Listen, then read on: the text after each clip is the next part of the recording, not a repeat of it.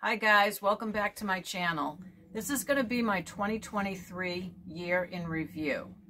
So 2023 was a great year for Rue and I as far as model shows. We were actually able to make it to 12 different model shows. We brought models to 10 of those shows. Um, we had a great time at all of them. They were either in New England or in New York or New Jersey. And we really had a great time doing that. I'm going to also show you the few builds that I did in 2023. But first, I want to do a shop card shout out. So this shop card shout out is to Hobby Barn. If you're watching my video and you've never heard of Terry, aka Senior from Hobby Barn, oh, what am, how am I kidding you? If you're watching my channel, you have to know who Terry from Hobby Barn is. Anyway, he is probably the best um, supporter of the modeling community. He hangs out in a lot of the live chats, participates in them, and really supports all of us who like to build models. As you probably know, Terry does his own uh, hangout on Thursday nights. So if you're not doing anything on a Thursday night, you definitely got to tune in to Hobby Barn. Thank you, Terry, and we really enjoy your live chats. Okay, guys, here is the first build I did in 2023. It's a Ford Raptor, and it's in pure red metallic, TS 95.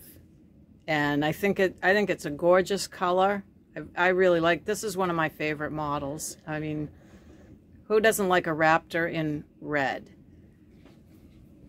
My next model that I did in 2023 my assistant is going to place it on the turntable. Thank you, assistant. You're welcome. This is my uh, 135th scale NASCAR that goes with my NASCAR Coca-Cola hauler. So we went a little um, out of the books for the decals and such so that we could put Coca-Cola ones on it. This is also the same color red and I think it looks really nice on here. And the next build in order is the little teeny tiny Volkswagen, which I think is an awesome build. Um, it was a lot of fun to do, and it's the first one I did in a flat color. And if you look real close, you'll see there's a little guy in there. And that was really fun too. I thought that would be really hard, but it turned out um, that it really wasn't. The only part of the model that I'm not happy with is both of the uh, license plates, and the decals were really kind of crappy. But anyway, overall, I think it looks really neat. Next. So this model was for uh, the pl Classic Plastic Model Club Club Challenge. You had to build a Lamborghini.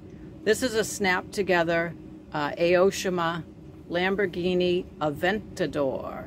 And it's in um, it's a gold color. I forget the name exactly. Pure gold. Pure gold, Rue says.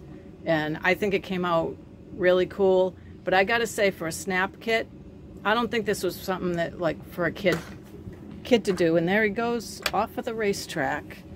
Um, all right, we're not going to show him anymore because his wheels move. and we don't need to have we don't need to have a crash in the model room. because I think I might have another show I can take him to. And then this is uh, my last model for 2023. I'm not totally done with it yet. I have to paint the uh, logos on the back and on the front because this kit that I got um, didn't have any decals in it.